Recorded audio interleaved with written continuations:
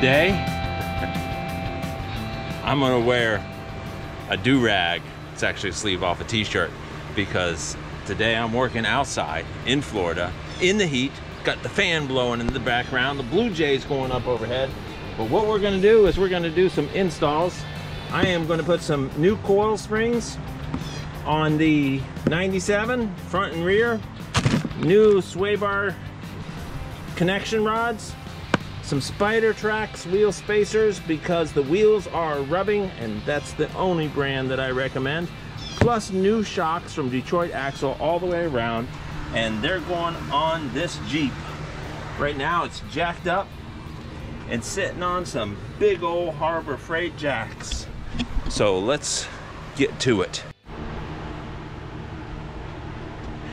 And the first thing we're gonna do is we're gonna make sure that our springs are the right size and our shocks are the right size before I take the old ones off. Gotta make sure everything fits.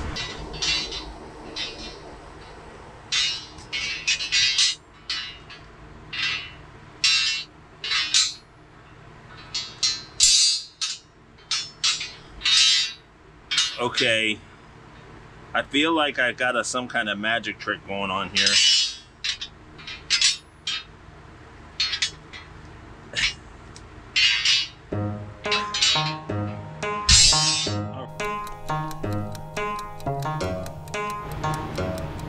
Ten minutes later, ta-da! Puzzle solved. Okay. So what we're gonna have to do is we're gonna have to get the, the sway bars uh, connectors off. We're going to have to get the shocks off and then we're gonna have to drop the axle so that we can get the spring out. All right, shock is out. I am going to need a little persuader. Wait, make it on top of the door. There you go.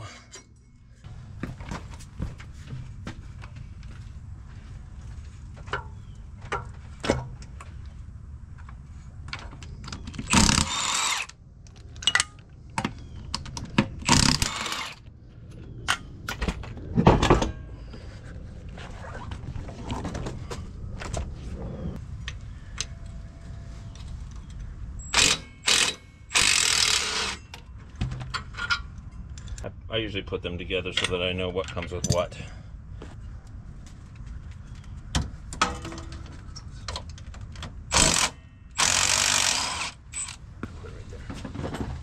Ready? Will it lower? One down. Hmm. Yep. Okay, with the shock disconnected, sway bar disconnected, I now can work the spring out and put the new spring in. Sometimes for a lift, people put like pucks on here that are an inch, adds a little bit of elevation. That's the least expensive way. Now this bump stop, maybe this bump stop used to have a rubber piece on there, and that's probably uh, when your axle hits, it's supposed to to take it take it easy. but that bump stop looks like it's pretty much gone. So here we are. That spring is in. Gonna take a little pry bar, lift it up, and that'll allow us to get it off the back.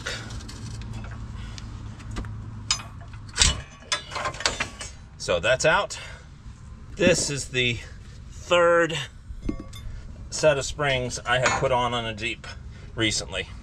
Well, our 07, I did a lift, new springs, new shocks. The 10, new springs, three and a half inch lift, new shocks. So, done it a few times. Oh, there we go. And that, that is in. So springs are in. Now we got to get the shocks off the rest of the way and we have to get the uh, sway bar connects off the frame mount up here. But I'm gonna do the shocks first. So to get the shocks off, you're gonna have to get up into there and get those two bolts off.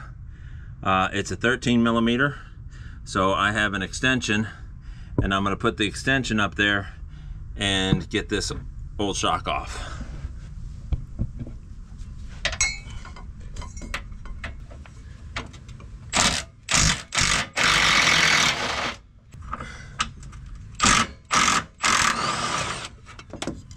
So the old shock is off. Now I don't know what brand these old shocks are, but if I had to take a guess, I almost think Monroe. Uh, but it says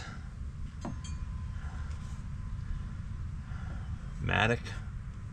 So your front shock is a little, little bit longer, and this has got a single bolt that goes up through a plate, and the bottom has two hooks looks a little different than the back shock. The back shock is shorter and it has this mount. So if you go to put it on and wonder what's going on, let's go ahead and thread this up in there.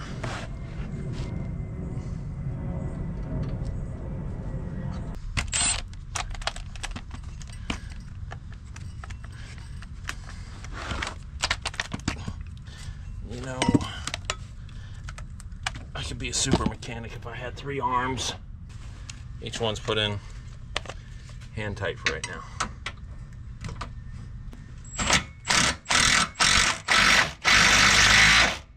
I'm gonna put a little bit of hand power on there so I can actually feel what my foot pounds feels like. And then the bottom has got to come attached to this.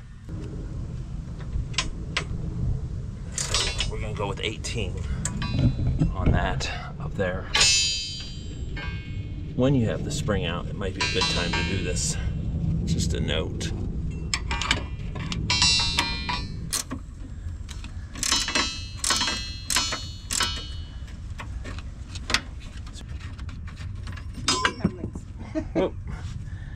so that's the back of the bolt. Uh, it's like a wing nut that I, I don't know what they really call this. If you know what this is called, comment below. Look how wore out that is. Those are the two straight ones and those ones are curved? Yep. Okay, so these are two straight ones.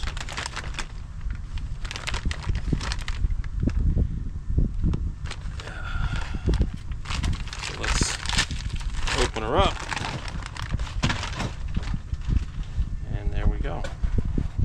That's our sway bar connectors. And we're going to put this right in there just like that. And this is going to go on the back side of the mount.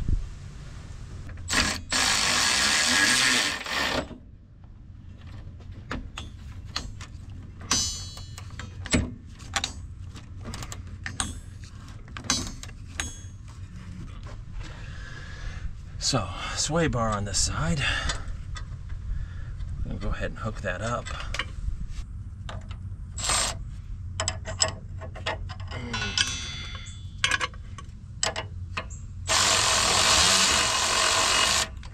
Cut and have this ready and as it comes down I'm gonna have to lift up the axle a little bit.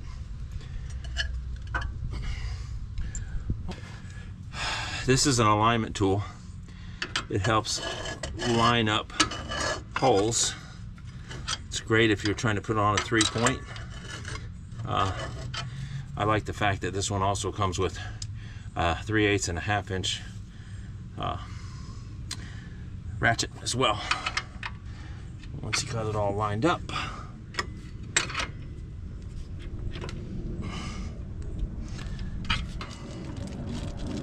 and it makes a hammer too. See, because it's almost designed to be a hammer.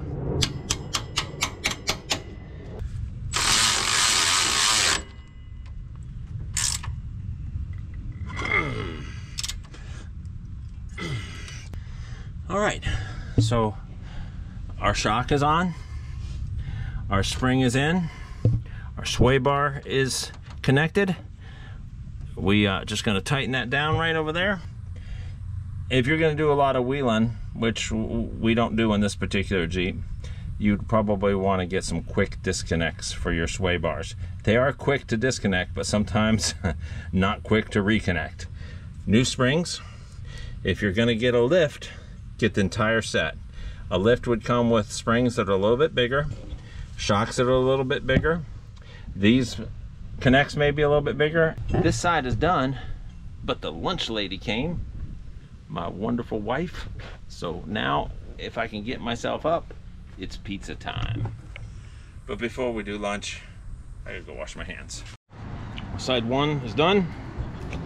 Let's finish up side two so we can put the tires back on.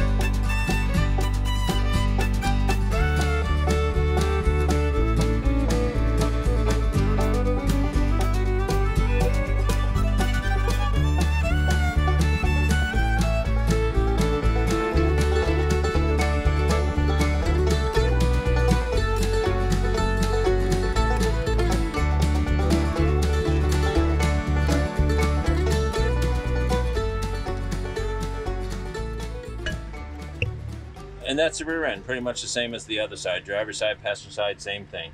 Shock, sway bar, connector, and spring. Last thing I do is to clean off the hubs, put the spacers on, put the tires back on, and to see the how to put a spacer on, see the video link below.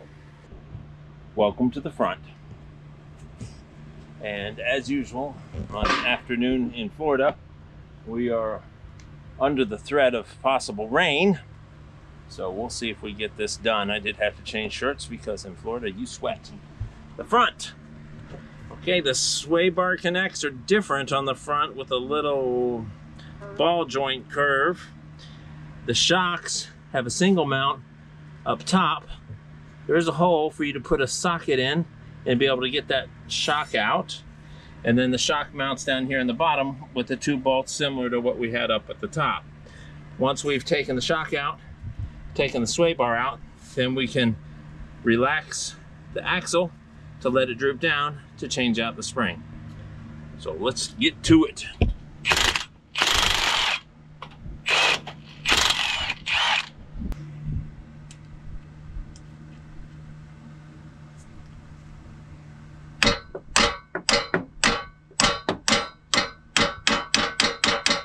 Put a hammer in again, make sure that the, the bend is outward.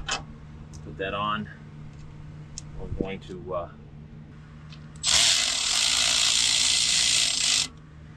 and I'm not going to tighten that top piece down until I get the bottom piece attached because I want it to be able to pull up and snug itself in and not have to fight this. But first we got to get the shock off so we can lower everything. So we're going to take the shock off now and conveniently there's a hole right up here.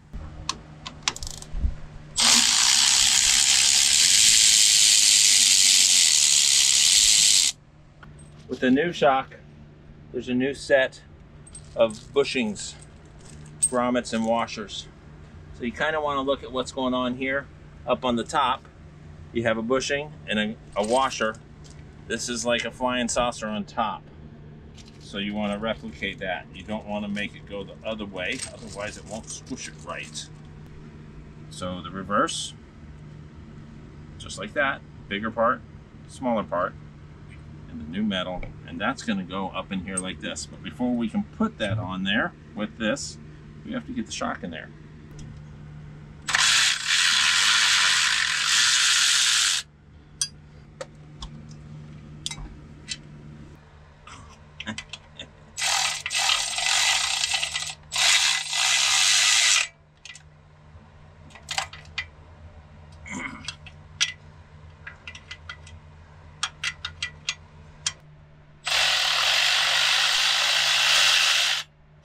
Now that that re- spring retainer is out, we should be able to just pull the spring out.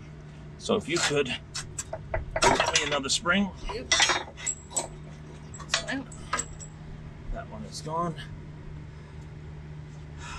So make sure that when you're taking the spring out, it's a whole lot easier to take it out with this retainer gone. Those are just kind of twist to take them apart. Screw. Yep. Here. I'm handing it to you. I thought he was showing it to the camera. No, I'm handing it to Randy. But I would say that this is going to fit over that, Yep. whereas this not. is not. So this goes on after this goes up. So I'm twisting to get it up in there until that is seated back where it belongs. Then take your spring retaining clip and put it back in place.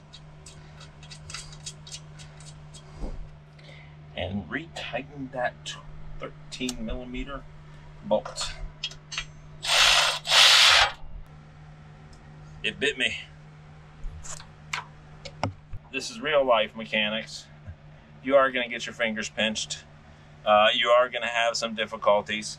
If I did this all the time, it probably I would know the little tricks of the trade.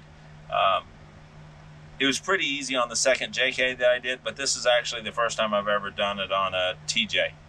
So, done a lot of lifts and done a lot of springs. And uh, if you didn't know, I do twist wrenches uh, as a full time job. Uh, I work on everything from small equipment like weed eaters all the way up to, to fixing and repairing fairway mowers or whatever it is that needs to be done on a golf course.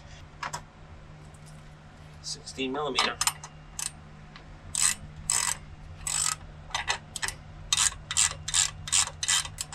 So now we have the shock is mounted, the spring is on. The last thing we have to do is go ahead and reattach the sway bar link. But I'm not going to do that until I get the other side done. Now rinse and repeat on the passenger side. You already saw everything that I did, so I'm just going to go with the flow and do it.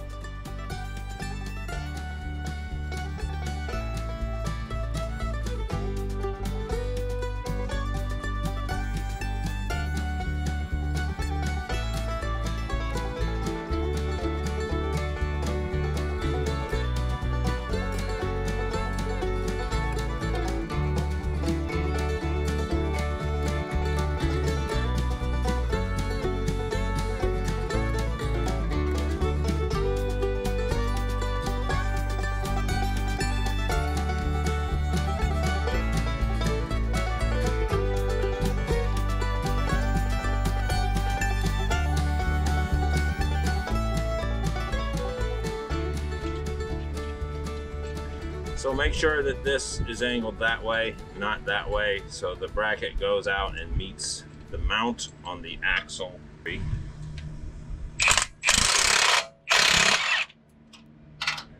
we go. Probably not good to hit that number three on here. That's, there you go. That was a uh, a T55 Torx to get that sway bar off. After I put the spacers on, uh, we put the tires back on. Everything's already tightened down except for this top piece right here.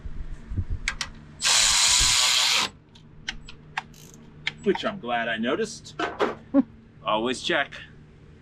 I always like to go through the bolts and check them. It's a good habit to get in. Otherwise, had I not done that, I might not even saw that this was loose and then my sway bar would have came off. But my spring wouldn't have came off because the driver's side has an attachment.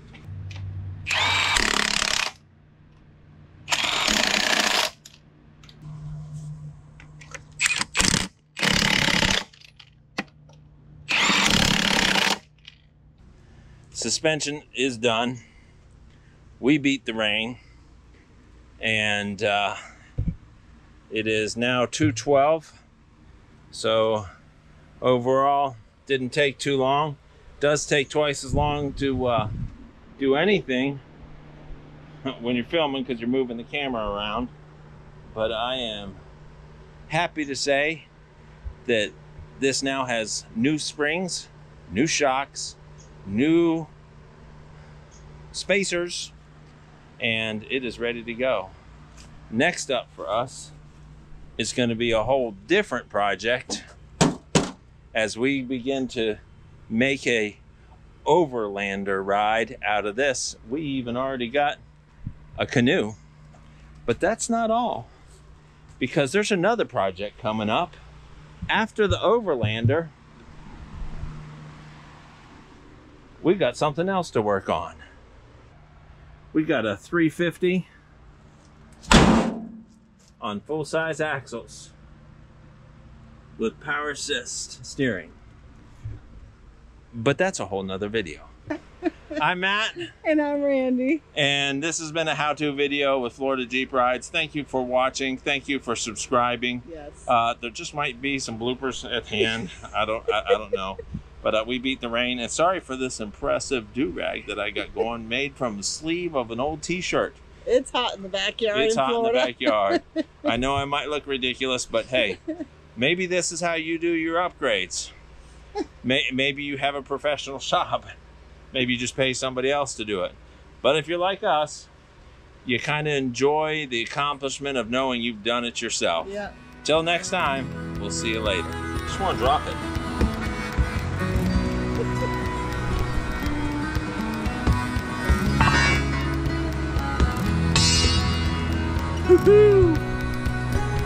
What's the point of doing a job if you can't have a little fun? I just want time to my shoes and jump up and down.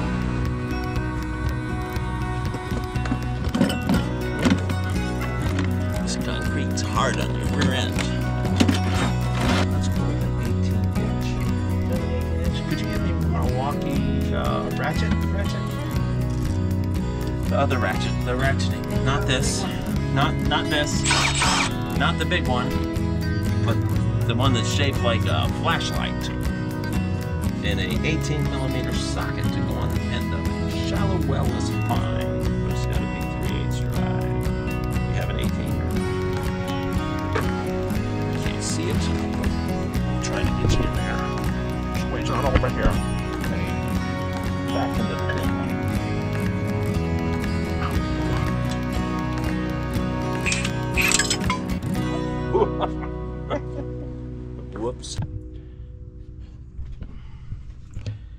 Anti-seize on the hub.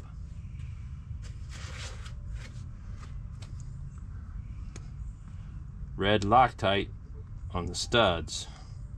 Put the wheel spacer on.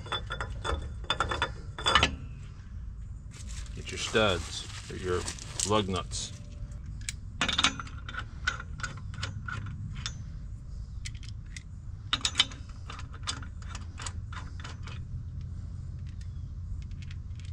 Concave side in. That makes sure makes sure that it sits exactly right.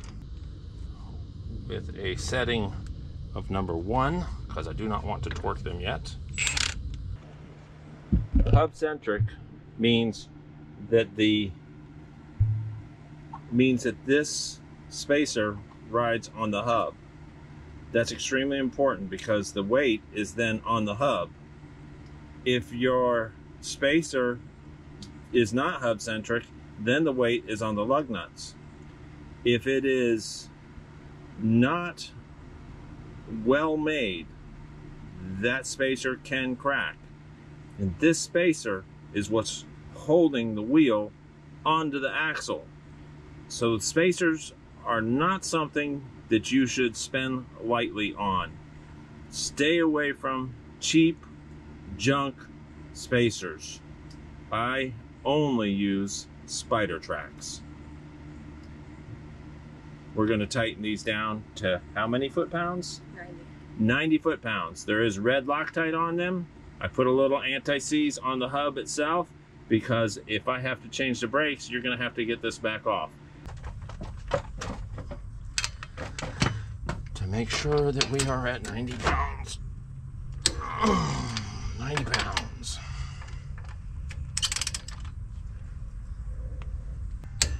90 pounds. So those are now at 90 pounds. You may not have a, a torque wrench, but it's important to have. At this point, I just want to tell you not everybody uh, is mechanically inclined or has the tools or the ability to do this. Locally here, Jeepers Den, uh, one of the things that they really do a great job at is putting in lifts and springs and suspensions. So if you don't want to handle the jive yourself, go up and see Jeepers Den on Highway 50 and tell them Florida Jeep Ride sent you.